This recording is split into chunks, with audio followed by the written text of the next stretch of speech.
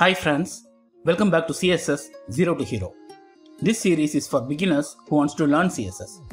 In this video, I'm going to talk about font related properties in CSS. Let's start. A website with good fonts always looks good. Choosing the right font has a huge impact on how the readers experience a website. It is also important to choose the correct color and text size for the font. Okay, first let's see about font family property. There are many fonts available. Each font comes under a font family. There are five different font families. Serif, sans serif, monospace, cursive and fantasy. Some fonts are free and for some fonts we need to pay to the creator of those fonts. I oftenly use Google Fonts, those are free. We can go to fonts.google.com site to see details about Google Fonts. Here we can choose our fonts. Roboto and Poppins are my favorite fonts. Let me choose them. I can choose the needed variants.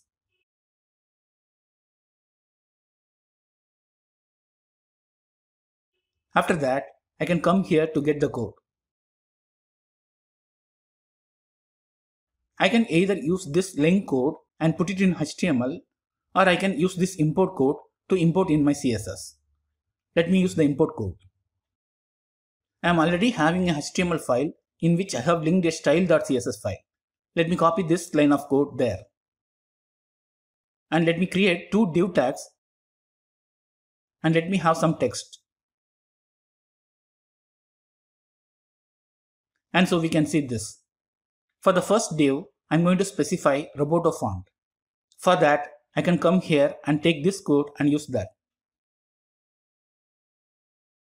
Here you can see that the first one is the font name and the second one is the font family name.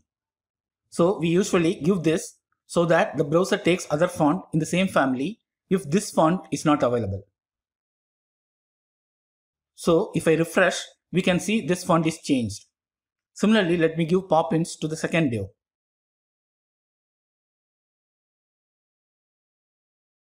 And let me refresh. So this is also changed.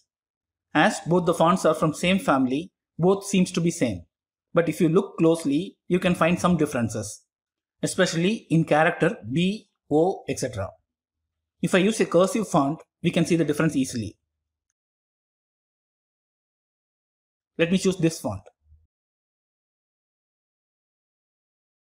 And let me change this import and the font family here. Now we can see the difference. But this is not good. Let me revert to Poppins. Next property what we are going to see is font size. We can increase or decrease the size of the text using the font size property. Let me give the font size 50 pixel to the first div and 30 pixel to the second div. And if I refresh, we can see this. Here we have given the value in pixel, but we can also use other units like em and rem. Anyway, I am going to cover the CSS units in a separate video. But in another video, I have already explained about using pixel, em and rem for font size. You can see that video for more details. I have provided the link in the description. And the next property is font weight. The font weight property specifies the weight of a font.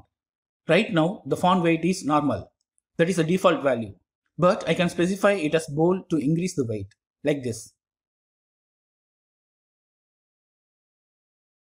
Instead of specifying as bold, we can also specify in number like 100, 200, etc.